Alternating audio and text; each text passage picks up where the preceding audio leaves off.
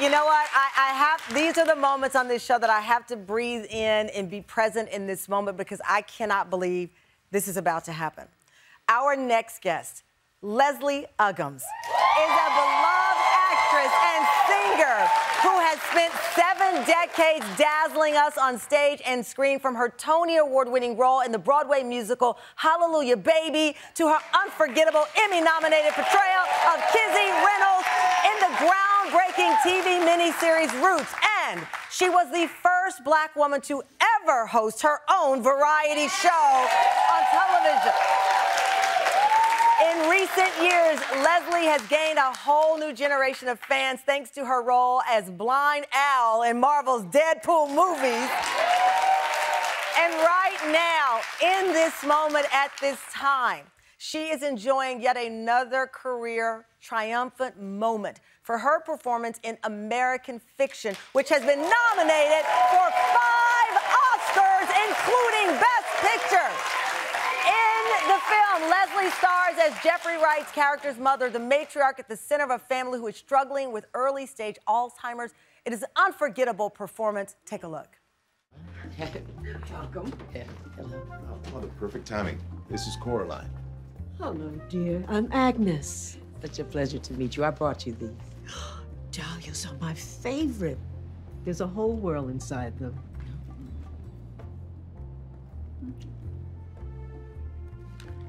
Wow. Tam Fam in a daytime exclusive, her first visit to our show. It is my great honor to present to this audience Miss Leslie Uggams.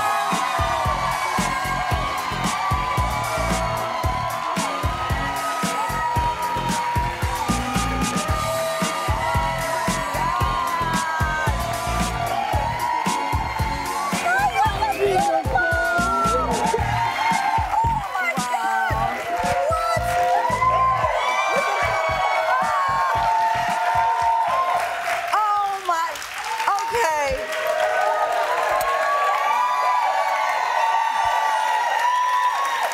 Ma'am. Ah, okay. Your, uh, first of all, I am staring, your beauty, your skin is radiating. You, uh, uh, my, I, my breath is taken away. Oh, thank you, thank you, thank you. You know, the last time we were together, I interviewed you on my show in 2016. Yeah. The remake of Roots. Yep. Um, prior to that, I ran into you at a Broadway inspirational. Vo- well, by ran into, I was stalking her. you walked into the church with a performance, and I remember everyone said, "There's Leslie Uggams," and I was like, "Wait a minute, there's Leslie Uggams," and I, it was, sur- I get goosebumps now Aw. because you you are now 80. Yes.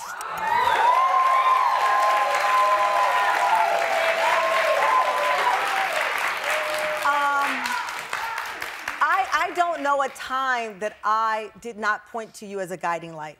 Oh. This is the first time ever you are part of an Oscar nominated cast. Hello.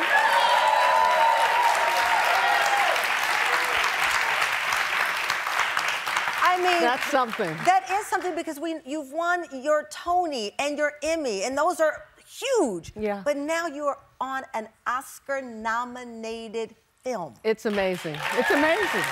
How, put that in perspective. At this time in your life, put that in perspective for us. Well, first of all, um, the script, Yeah. when it was sent to me, I said, oh my gosh, this is too good to be true. It was written so well, and all the characters were fleshed out so well. And I said, oh, I'm interested in that.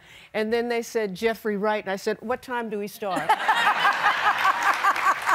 Well, and apparently he felt the same way. I saw an interview where he said he had a crush on you growing up. But by the way, who didn't? But I mean, look at him making those googly eyes at you in this picture. The funniest thing, he didn't tell me this till after we did the movie, thank God. I'm playing his mother, Right. you know, stuff like that. But Look, I mean, I can't stop. Look, look, he's looking at you. We see you, Jeffrey Wright. We see you. Um, but this character is so beautiful, and she is, I think, for so many people, She reminds us of someone in our family, no matter your race. Yes. The conversation of Alzheimer's, and it is the current conversation in every family. And here she is, beautifully portrayed by you. Well, you know, the whole thing too is that who's going to step up to the plate to take care of an aging parent? Yeah. You know, and there's always someone in the family that does. Yeah. And a lot of times it, it's not who you expect it to be. Right. One of our highest rated shows, we were five seasons, was a show on caregiving, mm-hmm. caregivers. And I mm-hmm. said, you're going to either be the caregiver or someone's going to have to care for you. Yes. Yes. And that's the conversation. I was just, you know, coming in here in the studio, and when I thought about this line of you were the first black woman to ever host a variety television mm. show in this country. Um, I mean, when you when you look at it and still now breaking ground in this career, is it is it what you dreamt? I mean, the little kid who wanted to do this. The little kid who was a ham. Right. I was not shy. And if you said, Would you like to, before you got to sing, I was singing. You know, so I, I always, it was something that was natural for me to do. But it might be natural, but you don't know it's obtainable. And on a Well- 60 Minutes interview, you said, "I don't take no for an answer, so it hasn't been a burden on me. This this interesting trajectory of this life. So you don't you have the talent, you don't take no for an answer, but society isn't always ready. I mean, I was the first black woman to do the Today Show in 62 years. Yeah, yeah. And that's those are weird Yeah. things to think about. You were there as an example, but you didn't have that lead. No, it was not a, an easy time. And when I did my own show, um, I replaced the Smothers Brothers. And that was a, Yeah. and that was a big scandal because they, They were had very gotten embroiled in political. politics, Yes, exactly. Mhm. and uh, the network didn't like that. And uh, out of the blue, which most of my career has been out of the blue, it's, it's never been planned. They said, uh, "You're going to have a television show," and I said, "What?" and they said, "Yes." You're taking over this for the Smothers Brothers. I said, "Oh, okay. This is fantastic." And you rose to the occasion. I love that you said so much has happened out of the blue because I need to get the backstory when we come back on how Miss Leslie Uggams ended up with an iconic character in Deadpool. and now we're talking about Deadpool 3, a whole new generation falling in love with the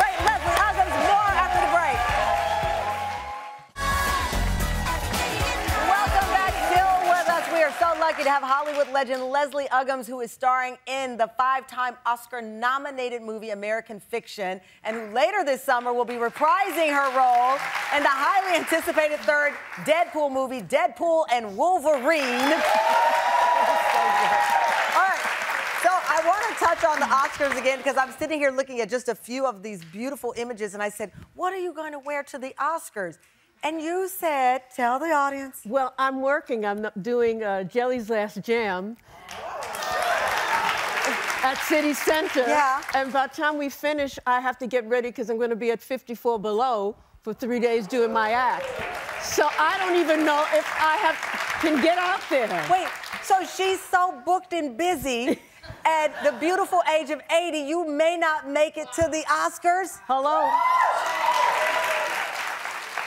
But I love in the break you said um, things happen out of the blue. Yes. I have to tell you, I there I am getting ready to watch Deadpool like everybody else went to the movie theaters, and your character Blind Al pops up, and I know, I know it's a character.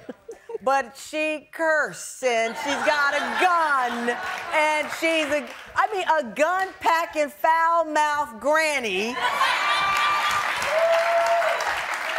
I'm talking gangsta granny. When you read the, how did this happen?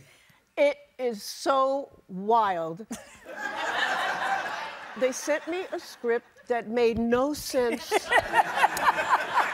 whatsoever. And so I said, okay.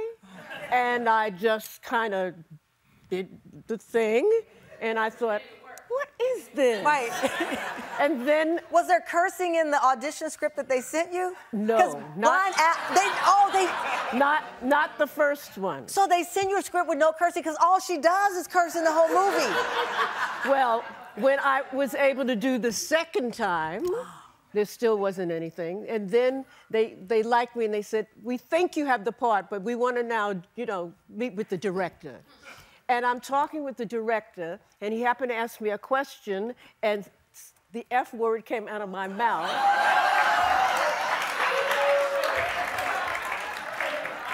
So What can I say? and he turned to me and said, I love the way you said that. And I got the role. Because you delivered the F word in conversation. And so Ryan, they say he, he ad Ryan Reynolds ad libs a lot of Yes. the of the script. Yes. So there you are, you ad libbing a lot of those curse words now that I know you curse in real life, which I never would have guessed.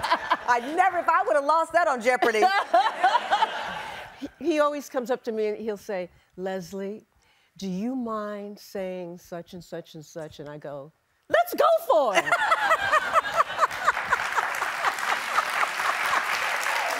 I love a part of, you know, we just got done celebrating Love Week and all of that, Yes. and you have been married to Graham, Graham, for 58 years. 58 years.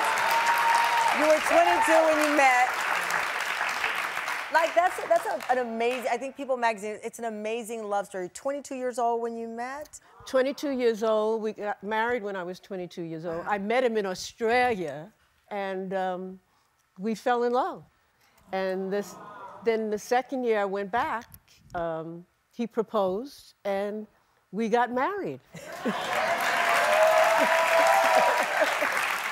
With my marriage, we were friends before we were lovers. Oh. And I think that's very important because we liked each Right. other before we fell in love because you know after a while you get to a certain age you know all that other stuff that you were doing hanging from the ceiling and all that stuff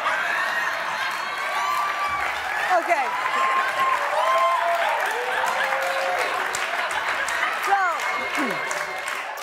clearly, uh, you've been hanging out with those guys on Deadpool way too long. And I just thought you were going to say use eye cream every night. Now I'm getting bedroom secrets from Leslie Uggams. Things you never know. But it is, it's just, you just love life and you can tell. And Yes. we love you. And I'm so happy that this moment is happening. We got to figure out this Oscar situation.